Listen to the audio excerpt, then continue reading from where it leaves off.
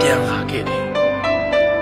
အချိန်ဆိုတဲ့ကဘာအစ်ထဲမှာသူ့စပင်းတွေကိုပြီးပြီးရင်တိတ်ချစ်တာပဲဆိုတဲ့စကားကိုအဲ့ရကိုအဲ့ရချပြောချင်ခဲ့ဘူးလေ။နှစ်ယောက်စလုံးကြကွဲခဲ့ဘူးတဲ့မနှက်ပြန်အဟောင်းတွေကိုတယောက်အပြုံးနဲ့တယောက်ပြန်ဆက်ချင်ဘူးလေ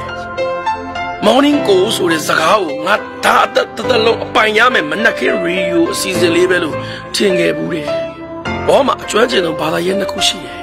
။စွန့်လွတ်တာရဲ့အရက်တောက်တာရဲ့နောက်ဆက်တွဲ skill နှစ်ခုလည်းရှိတယ်။ ဘလောက်မှမရုံးမပြတ်တာရဲ့ဘလောက်နာနာပျော်ဟန်ဆောင်တာဒီအချိန်မှာအရက်ပလင်းကတည်သွားခဲ့ပြီနောက်တစ်လုံးပေါ်အေးစေးချွေးတွေကတော့ရွှဲနေတော့မယ်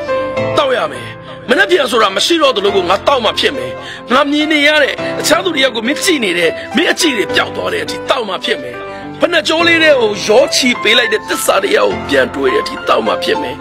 ပြီးရင်ရာဟုချိုးပေါ်ကိုအိမ်မက်နဲ့မဆိတ်ဖို့မယ်တူငါ့ကိုအိတ်ဆေးလို့မော့ကောက်သွားတဲ့မိန်းမ မင်းကိုတစ်သလုံးချစ်သွားမယ်ဒါပေမဲ့တရက်လေးတော့ပြန်မလာတော့ဆန်အားလုံးကိုဆုံရှုံသွားခဲ့ရတာသေချာပြီဆိုမှဓာတ်ထစီကိုဖုံးဆက်မယ်ဟယ်လိုဓာတ်ထလားဟုတ်ပါတယ်